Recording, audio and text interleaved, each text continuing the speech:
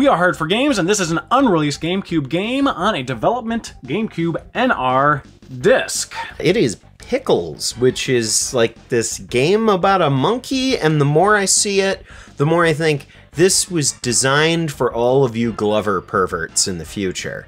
So uh, I I think if you love Glover, you're gonna you're gonna like Pickles. Again, this one was never released. We did dump it, and the owner Cake Hoarder will be releasing it. Now, if you have been following the channel, Pickles might sound familiar because we dumped a much earlier alpha version of the game a number of months back. Now, that game was again very very early, but this one right here is a later build of the game. So when we had dumped that initial one, it was the first piece of software ever released mm-hmm. of Pickles. It was shown Yeah. off in some like magazines, probably some trade shows, that kind of thing.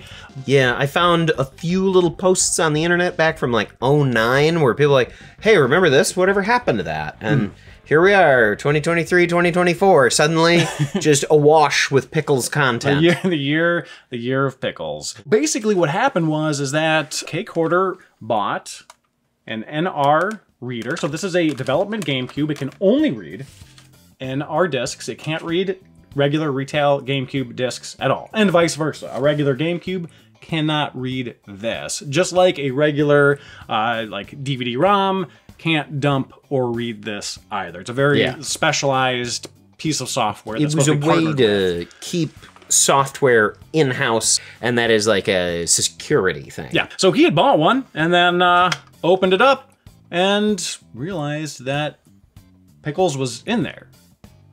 And what a find. Yeah. An unreleased game after buying an NR reader. So months and months later, gets dumped, all that stuff. He goes and he hooks up with the original developers, Santa Cruz Games. And they handed him this. A more finished, more polished version of Pickles. So Cake Hoarder ordered an NR reader on the internet and managed to get it with pickles, but had ordered it without pickles. So he went back to get rid of the pickles, and instead they just gave him more pickles as comeuppance. I gotta say, uh, Santa Cruz Games, you guys sound pretty awesome. Yeah, exactly. So. we got this thing dumped. We're going to check it out today. We're going to dive into it and mm-hmm. hope you all enjoy. You may have noticed already from our B-roll and also this gameplay segment that you are the monkey Pickles and you are on a unicycle stacking up other monkeys and assorted critters to complete various objectives. Sometimes that means fighting or avoiding enemies. Sometimes that means just grabbing more and more monkeys and animals until you can reach something. Other times it's getting collectibles, etc., etc., etc. Kind of reminds me of the style of those single screen NES and arcade games from back in the day where it's like, here's the space you're in, here's your objective. Now, not every level is like that, but stuff like this kind of reminds me of it, but just sort of in a 3D plane. Also notice that when you attack the enemy, that number pops up, and that's how many more hits they need, which is a massive amount. Like nine Yeah. hits with this sort of like, I don't want to call it janky aiming system, like it kind of auto aims, but a lot of them move Oh, got some jank. but a lot of them move kind of quick. Uh, especially the little guy on the go-kart there, a little hard to hit. I should also note that I bumped up the emulation memory like really high, like as high as it'll go. oh, well, I mean, yeah, a lot of dev stuff. Uh, you Yeah. kind of gotta do that. There you go. All the balloons are collected. A lot of you at home probably think, what is it like to play uh, a lot of these like beta games? And it's kind of like getting to see like a really early cut of a movie where everything doesn't quite click right. Yeah. You can see what they were going for, but it's like, you're like, eh, I can see where this could go. Special effects aren't there yet, et cetera, etc., etc. So again, the different animals can do different things. This one's tricky. You can't run into it because it'll get knocked off. You have to start the spin and then go. But you have to get through it fast enough that it doesn't get knocked by debris, because then he'll get knocked down. It's a little. Then you gotta go back for stuff. It's finicky. Now you have to run into those. There you go. oh, the turbo. Oh, yeah, the turbo. Yep, yep. Now take a close look at the background here, because later we're going to be showcasing the differences between this version and the earlier build.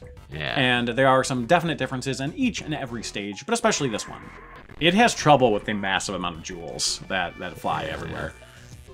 A lot of uh, carnival-like like shooting galleries and stuff. Yeah, it is very carnival-esque. Wait, it gave you a number. Oh, you can destroy the machinery. Yeah, cease the means of production. You seizing or ceasing the means of production? Yes. I think I'm actually ceasing it right now.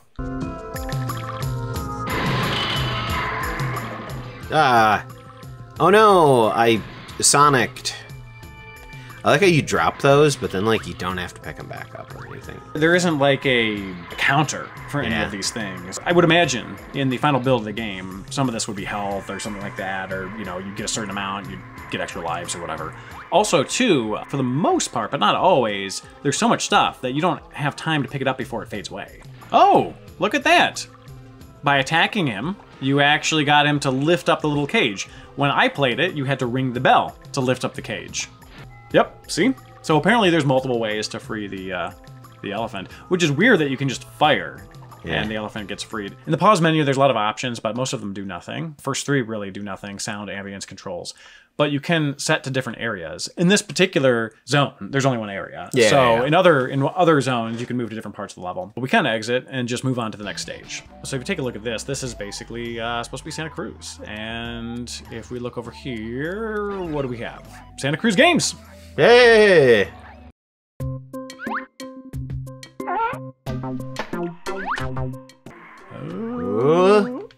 There we go. Now you can fall off the boardwalk. I'm not sure if you can fall off this little catwalk tightrope thing.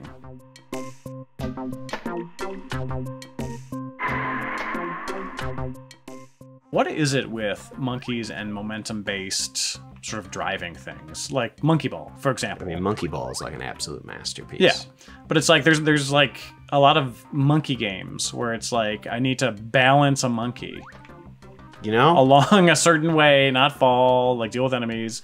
It's a lot of monkey business. All monkey business. So the next area is actually the multiplayer. It's just a multiplayer arena. As you can see, there are two pickles, lots of pickles flags. Probably like a collectathon or something. Yeah, something like that.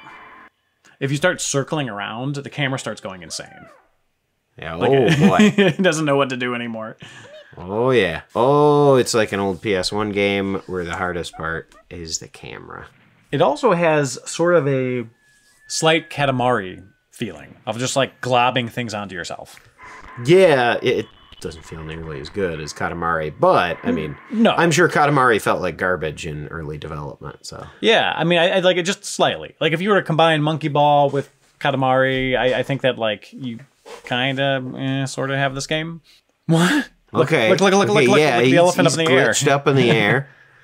So you may be wondering at this point, well, what are the differences between this version and the previous version that we dumped? This one is labeled 305. The other one didn't have a label. There are some dates when you take a look at it in a hex editor, but I don't know if those are reflective of a build date. Or Yeah, not. yeah, that Um, can be tough. I can flash. Sometimes it's like when different like SDKs were like made and such for the GameCube, and they have dates Yeah. and such. Um, other times, like different things they used have dates. You know, um, it might have been referring to like this driver that's being used is this revision. Yeah, It's so I'm not sometimes. sure what these dates are in reference to. Uh, they're, you know, a little earlier than this, but I don't know. Um, so, anyways, let's take a look at the differences between this version and the earlier version we dumped. All right, so first things first, we actually have a little bit of an intro sequence in the new version, which you saw before at the very beginning of the episode. Which is definitely a hey Pixar, come sue me. Strangely, I should note, both builds only come through in one channel of audio. So here's the earlier version, no intro, no splash screens, just a basic menu. So here we have one of the first levels here. Again, this is the newer version. There's more to do here. We can pick up an elephant, we have more animals, etc., etc. You can see the placement of the monkeys here as well. You can shoot peanuts, you have the numbers when you hit your enemies. Here's the earlier build. You can see the monkeys are stacked up differently, and they're all just monkeys. You, you can't get any other type of animal. The camera follows a little differently. It does. Notice here I have Yeah. I have a little aiming thing for my projectile, not quite a reticle, but you know, kind of similar. It's not great, as we mentioned before, Yeah. but it's a thing. it's at least something. I imagine it would have been tweaked. Now, in the earlier build, I can't shoot anything other than bananas, which I kind of just have come out of my body and then limply fall to the ground.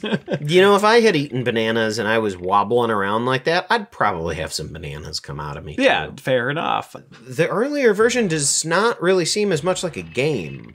Like there's some playable stuff. Yeah, most of the, the levels you can't quote unquote beat, so it's a little funky. Also notice how in the newer version it tells you what your objectives are. And there are objectives, whereas they're either more obscure or not mentioned in the earlier build. Okay, again, so this looks familiar. We have our Rhino that we can utilize to hit these crates. In the earlier version, I'm actually pressing some of the buttons here to remove and add some of the reflective layers. I'm going to press the other buttons that aren't jump, and they have debug features uh, attached to them. So really, I can't do much else other than jump and move around in the earlier build of the game. But notice this big stretch here. No crates, no rhino. Nothing. Nothing.